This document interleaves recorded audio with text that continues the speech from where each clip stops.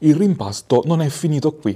Lo ha fatto capire, anzi lo ha detto apertamente, il presidente della regione siciliana Nello Musumeci, dopo aver firmato i decreti di nomina dei suoi due nuovi assessori, Marco Zambuto e Tony Scilla, entrambi in quota Forza Italia, che hanno preso il posto rispettivamente di Bernadette Grasso e di Edi Bandiera.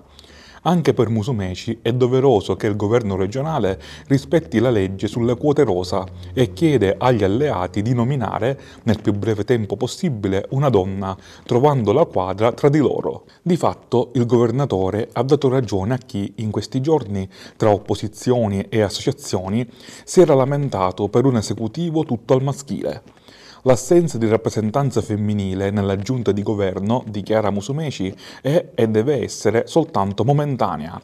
Come è noto, ho chiesto alle forze politiche della coalizione di far sì che la parità di genere sia non solo predicata, ma anche praticata. Mi attendo quindi già a breve atti e scelte conseguenziali. Più chiaro di così il problema potrebbe restare tutto interno a Forza Italia. Per la serie voi avete creato questo disagio e voi lo risolvete.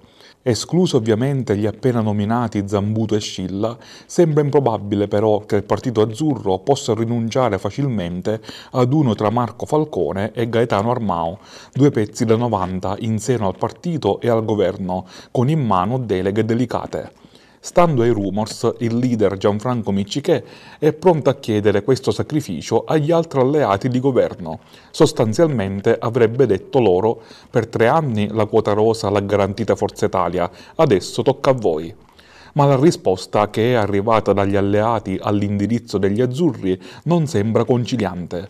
La frittata l'avete fatta voi, pensateci voi. Occorre considerare infine che una donna da indicare al momento non sembra averla nessuno, né gli autonomisti, né i centristi, né Fratelli d'Italia. In mezzo ci sono non soltanto gli equilibri di governo e di maggioranza, ma anche la prossima campagna elettorale, posto che manca un anno e mezzo circa alle elezioni regionali e Musumeci non è per niente sicuro della sua ricandidatura.